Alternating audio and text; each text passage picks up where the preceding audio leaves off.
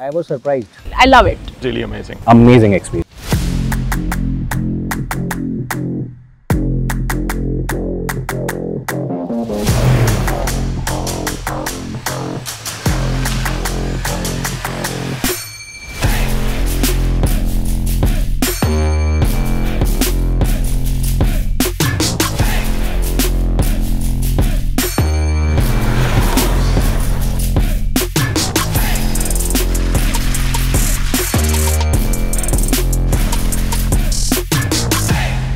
Went through a lot of off-roading sections which were very very good indeed and very tough for any other car to do Um especially the 20 degree decline which we had was something that only a jeep could have done Interiors are very good. The proportions are very appropriate as per the engine. At no given point it feels underpowered or anything.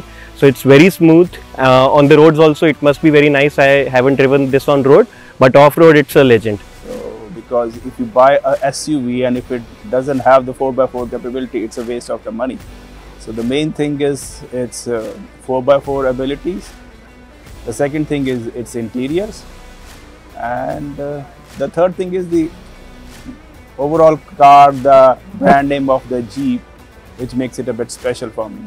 Firstly, I was not expecting, uh, as per the ground clearance of the car, I was not expecting it could be so wide, but it was astonishing. I, I was surprised that with this kind of uh, ground clearance, the car was moving like anything on the toughest terrains. So it was impressive. Jeep Meridian, it was indeed a flabbergasting experience. I had a limited opinion about Jeep, you know, because earlier, uh, having driven uh, bigger cars, but when I drove this car, it was a feature packed car. Uh, all off roading features were there, and to add to it, it had all the luxury features as well. The leather interiors and the panoramic sunroof, everything was great value. where we were going at steep inclines also how smoothly it went up and how it came down i i didn't believe that it was a, it could be that smooth like if you look at the car it, it looks like a low slung car but it has good ground clearance